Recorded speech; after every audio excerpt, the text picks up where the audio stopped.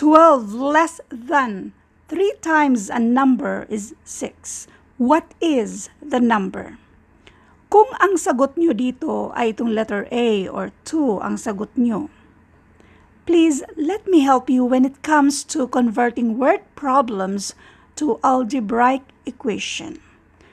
By the way, ito ay random po sa isa sa FB groups na lagi nating tinatambayan. At para naman sa mga bago pa sa channel ko, meron tayong FB page na Free Reviewers managed by Leonalyn at Solving Math with Leonalyn. So anyway, paano nga ba i-convert ito to algebraic equation? Karamihan sa mga nag exam ang pinaka-problema nila ay kung paano nga ito gawan ng equation. 12 less than, ano kayang ibig sabihin yan? So, Bago ang lahat, magbasa muna tayo sa mga nakuha nating mga references. Ito ay para hindi nyo makalimutan. Para sa mga pinaka-basic naman word to equation, ilalagay ko yan sa description ng video ito, yung mga na-upload na natin dati. Doon tayo sa less than. 8 less than an unknown number. Ganito ang pagsulat mo. x minus 8. Ganon din kasi maraming nagkakamali kapag subtracted from. 1 subtracted from 6. Ang ibig sabihin yan, 6 minus 1. Meron tayong nakuha dito sa galing to sa comment section. So, ito ay libro to. So, dito tayo sa less than at subtracted from kasi maraming nagkakamali niyan. 4 less than x, ang ibig sabihin niyan ay x minus 4. Subtracted from, 4 subtracted from x, ibig sabihin niyan x minus 4. Basahin natin ito. In translating problems using the phrases less than and subtracted from, wait, less than and subtracted from, the first term mentioned is written after the subtraction sign. Kaya, ito ay yung less than dito. Ito yung nauna. For less than x, ang x ang unahin nating isulat. x minus 4. Basahin pa natin yung iba. So, writing algebraic expressions, meron na tayong detaling nakapost dati na word to equation. Kaya, yun yung ilalagay natin na link sa description ng video ito. So, dito tayo sa subtraction.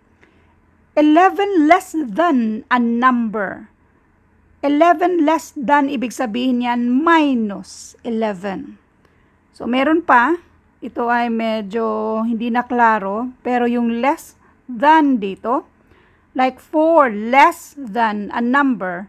So, ang 4 less than that is minus 4. So, balikan na natin yung problem natin dito. And I hope na nag-gets nyo na. 12 less than. Ibig sabihin, minus 12. Less than 3 times a number. Ano ibig sabihin niyang 3 times? So, 3 times let n para sa number natin. 3 times n ay pareho lang kung isulat natin 3n. So, therefore, itong 3n na yan, dito natin ilagay 3n. Again, huwag kalimutan kapag sinabing 12, less than or a less than, ibig sabihin ito, minus a. So, therefore, A less than B means B minus A. So, pwede na tayong mag-proceed. Gets na na ang 12 less than 3 times a number ay 3n or kahit anong variable ang isulat nyo, A, B, C, X, Y, Z. Kasi yung n na yan, yan yung value na hinahanap natin. Yan yung number na hinahanap natin. Now, 3n minus 12, ang is equal yan siya, kopyahin si 6. So, ito na yung algebraic expression sa ating word problem. Ngayon, itong minus 12. Since pang minus siya dyan, kapag matransfer sa kabila, pang-add na siya dito sa 6. In other words, nag-add kasi tayo ng 12 to both sides para ma- ma-cancel si 12 dyan. So, ang natitira na lang ay itong 3n. 3n equals 6 plus 12, and this is 18. Now, para makuha natin yung value ni n, since itong si 3 ay pang-multiply sa n, pang-divide na ngayon yan sa 18. In other words, nag-divide tayo ng 3 to both sides para makancel si 3 dyan, n na lang ang natitira dyan. So, n equals 18 divided by 3 and this is 6. Therefore, ang tamang sagot dito ay letter B, 6. Palala lang, when it comes to mathematics, never memorize the answers because that will never help you kundi yung paraan kung paano natin ito sinagutan. Now, let's double check.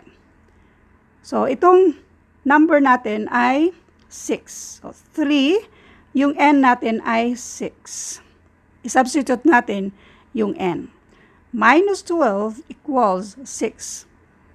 3 times 6, this is 18. Minus 12, and that is exactly equal to 6. Therefore, ang sagot nating 6 ay tama. Ulitin ko, 12 less than means minus 12. Thank you for watching and all I hope mayroon kayong naintindihan sa videong ito. Thank you and God bless.